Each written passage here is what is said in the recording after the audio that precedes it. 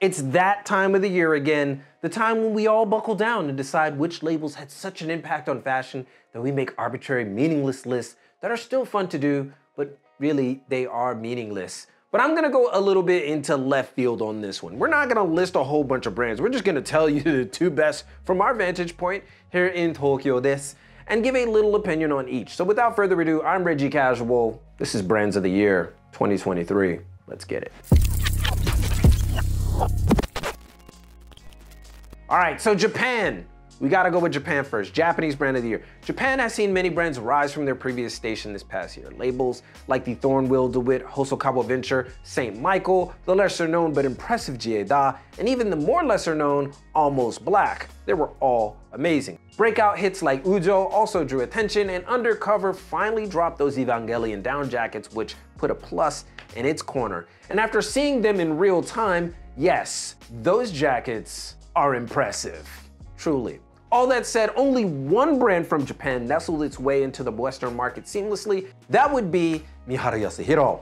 Primarily due to the popularity of its melty shoes, Mihara Yasuhiro made 2023 its wifey and positioned itself as the next big thing coming out of Japan. Now the shoes that made it all happen actually had been out years prior, but a combination of TikTok, celebrity photos, and general hype culture catapulted Yasuhiro to the top of many must-acquire charts. And many rep manufacturers, if the sheer amount of legit check posts on Reddit are to be believed. Yes, those things are being faked like crazy.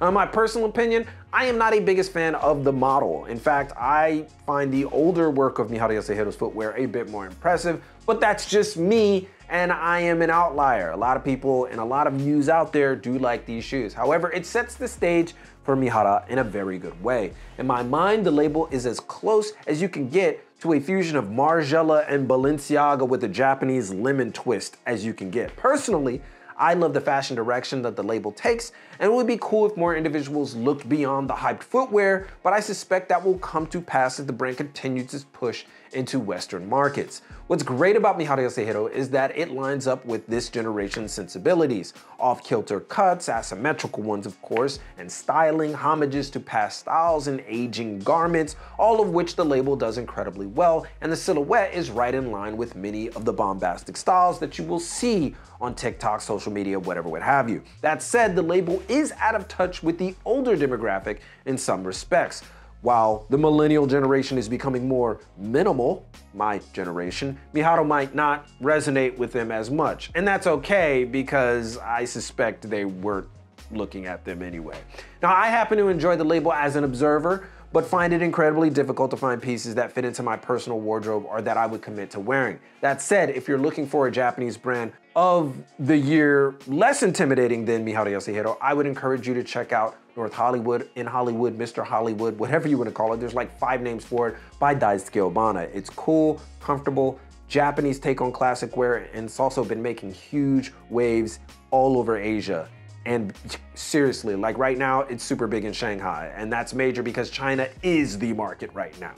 So that is the take from Japan, Mihara Yasuhiro, and then my you know, my addition with Mr. Hollywood. But what about the West? We get into that right after a word from our sponsor, Squarespace. A big part of fashion is community, and building a fashion brand or any business requires a strong one. That's why using Squarespace for your new website might be the way to go.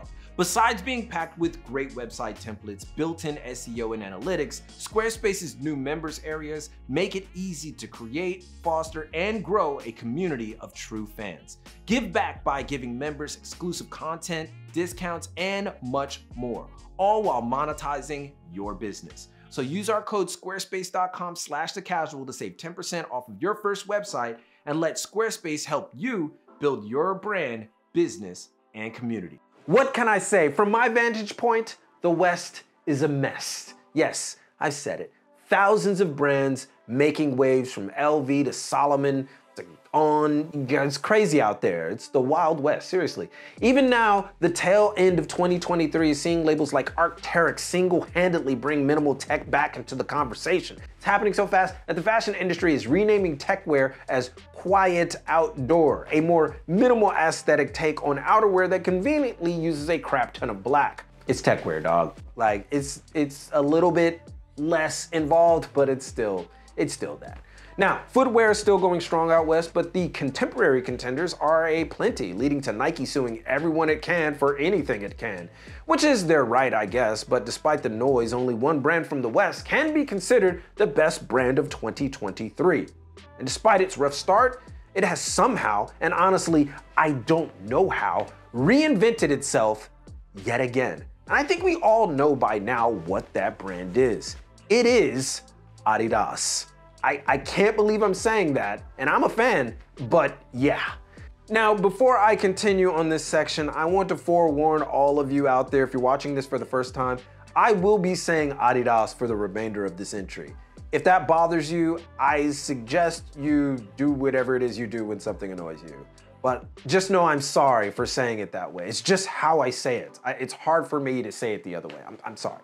Anyway, Adidas, they lost Ye, lost millions, lost street support, and basically was tripping over its own feet all year. But behind the scenes, Adidas cooked up a plan to make Sambas and more so Gazelles the most popular sneakers this year. And you know what? It, it, it worked. Funny what fashion TikTok can do with a little bit of elbow grease, or this is just the state of fashion that we're in today. And seriously, we have to be honest about the state of fashion right? One, TikTok is going to determine a lot of trends going forward from this point on. And two, footwear still rules the conversation. It all starts with that. We've tried to do the post footwear thing. It's just not working. People like sneakers and shoes.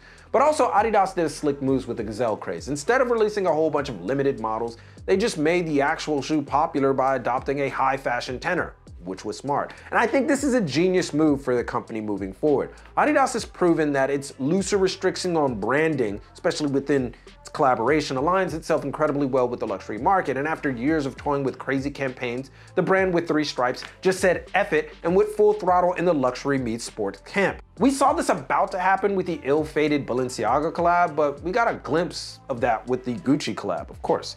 But Adidas's real strength was ensuring that they didn't interfere with fashion's newfound love of all things plain, especially at the designer contemporary tier of fashion. Heck, even Y3 released its best offerings in what it seems like years. Seriously, it's great. The company also finally released the Fog Athletics label, which if you want my take on it, you can join a live that we'll probably do by the end of this year at the time of this video course. There's a lot to unpack with Fear of God Athletics, but I don't want to go too far into it. So yeah, it, it's just definitely got people talking about the brand again.